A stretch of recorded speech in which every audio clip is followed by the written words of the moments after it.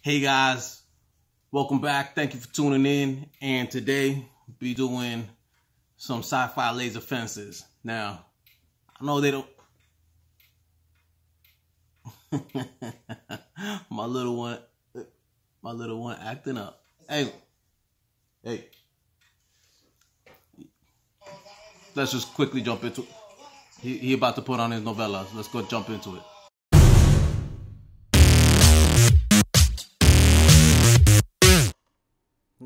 Talk about a short list. Alright, so I took these folder divided tabs here and I cut up some different options just to give myself a sense of what I wanted to go. And ultimately, I went with the full. And it saved some time because I don't got to trim it, right? And I decided to use these binder clips here so that I can paint them. The reason for it is because I'm going to use the Tamiya X23. And that Tamiya gets a little sticky. So I, I didn't feel like dealing with it. And I went ahead and painted it. Now, in my painting, there was some purpose to it, and the purpose was to have it streak in the same direction. I usually paint like that. It's just uh, a painter's intuition, or you know, that if anyone's painted, you know what I'm talking about. But I made sure all the streaks went in the same direction. And I think it gave it a little laser effect also, and it kind of hid all the streaking. Plus, later I go back and do a second coat. Really came out really well. So, letting them dry here, and then went to the Proxxon. And you can pause it right there, and you can see my dimensions, but my dimensions were ever evolving. So I changed them on the fly because I dry fitted them just like this. And I made sure, is this what I want? You know, uh, instead of trying to guess the dimensions beforehand, I dry fit and then I change I change my style.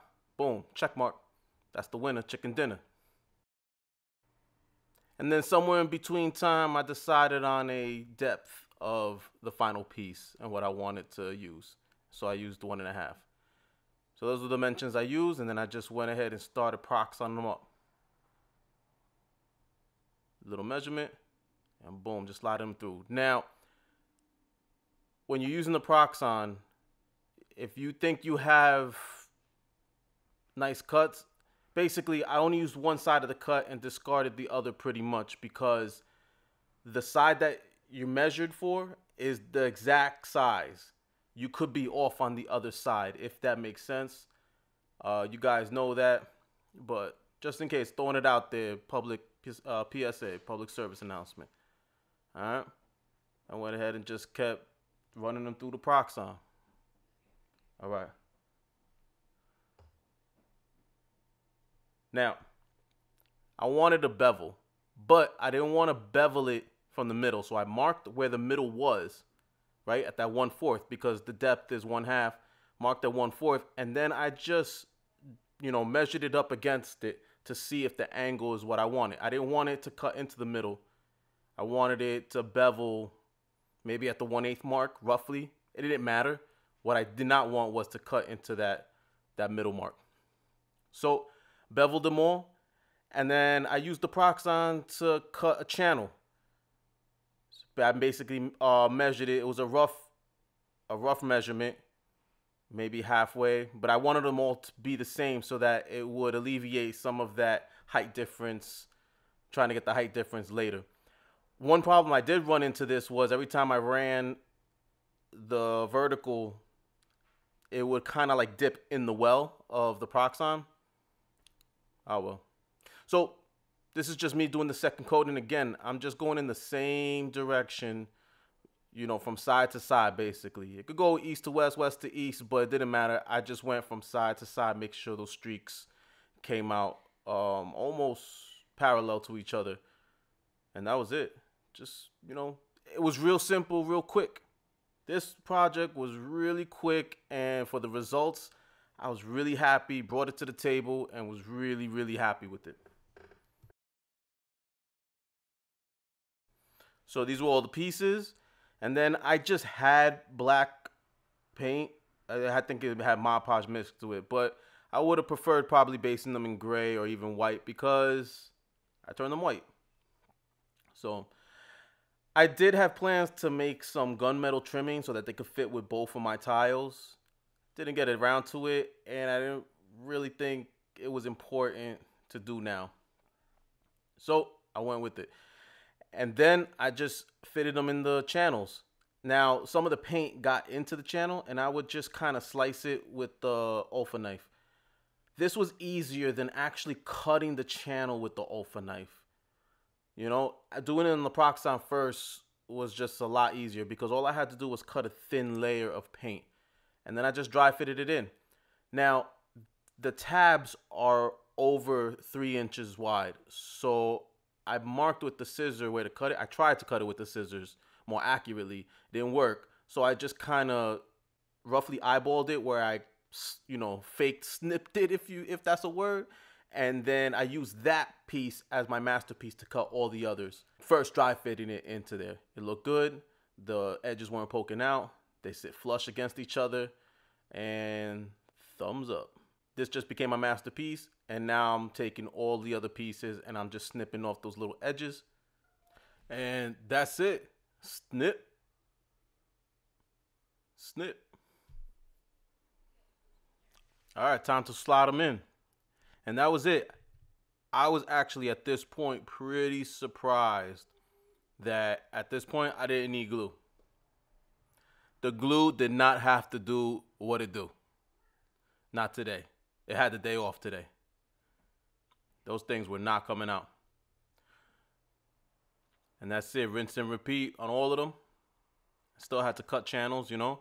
But again, it's a lot easier to cut paint than it was to actually make the channel for it and everything. That's it, guys. That's the full array. And then I had a couple of extra ones without because maybe they destroy the fence and then I could place that in. And this is the setup. So I use my tiles here from episode two or video two. And that was it. It was supposed to be like an academy courtyard type of railing. But again, everything I build is modular. That's the way I like it. Modularity.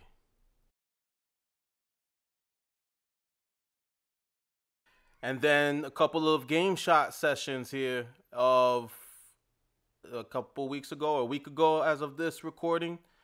And this is a new. So my group was escaping a colony attack and they were trying to jump onto the enemy ship. And that's them on the enemy ship. And then a pod came down from the air and boom and bang, and rockets and lasers hitting everything and just crazy. And that's it, guys. Real simple, real easy. And let's jump into that outro. But before we do, I song want to let you know, tigers don't eat honey. That's words to live by. Hey guys, I had to jump in real quick, cut this. I was just about to send this video off into the public spaces of the interwebs and four guys in a broken dwarf hit me up. I got the picture up on my screen here, but it's gonna look like, anyway, that's movie magic. I really like this. He shared uh, something he made with a little inspiration from the incubator pod video that I had uh, a couple weeks ago. And I really like this. This came out really cool. It looks like it's just sloshing in there. Like, it, it, it, looks funky. Anyway, I think I have it up uh, somewhere around here right now. But he did it with the pill bottle. He did it with aloe vera gel. And then he made these eggs inside and placed it inside the bottle with Crayola Magic model clay. And really cool, really cool. So be sure to check those guys out on Instagram, Four Guys in a Broken Dwarf. And this one was made from Nosferatu Unbound. And uh, I, I thank you guys for sharing that. That really was cool, man. Sharing that last night. And uh, I, I had to squeeze it in this video. Let's continue with the outro. Thanks, guys. Hey guys, thank you again for watching. I'm really grateful, really humbled that, you know, I'm having this experience in the hobby. And you can catch me on Twitter, CraftNicks, Facebook, CraftNicks, Instagram, CraftNicks. Come on, catch me on there, man. So let me know what you're working on. If you, you know, if you're doing anything that, that these videos inspired you, man, I would love to see it. And just really humble, hit me up. I mean, I I love the connections I made so far, and um, I just look forward to to to more. I guess that's greedy. I don't know. That's um socialist capitalism, maybe. I don't know. Is that a new thing? anyway, uh, one last plug. I used these in a recent game on my cousin's Twitch channel, Grip It and Rip It, and underscores in between there. You can catch him on there. And he's also uploading the gameplay to Phonetic Space Gaming. And we did a live gameplay. He hit me up. He said, Hey, I want to record everybody. I said, I have no problem. Just make sure that everybody else is all right with it. Everybody said they were right. I said, All right, I guess it's time to bring it, right? So it's his first production. It's his first uh, go at it. And it's my, I'm a noob DM myself. So uh, we would love any criticism, feedback, and all of that stuff if you guys check it out. Again, on Twitch, he's Grip It and Rip It. On YouTube, it's Phonetic Space Gaming. There's underscores in the Twitch. And if you guys any got any feedback or comments for this channel, man, I'm always open to it, man. Any ways to improve this channel, I, I eat it up, really. That's it, guys. Just really grateful for all of all of you guys, and um, just really grateful for this experience, and just having a blast doing it. Oh, one last thing. If you guys got any ideas for some crafts, man, I'm writing them down. So, you know, I got the uh, weapon turrets and the crypt. Be like, I'm still trying to design those. So be looking forward to it. And if someone beats me to it on YouTube, is that taboo? I don't, I don't know. Maybe someone already did it. I don't know. I'm not in that game, man. So I'm just crafting for my table and bringing y'all along with it. So much love. I'm going to catch you guys later.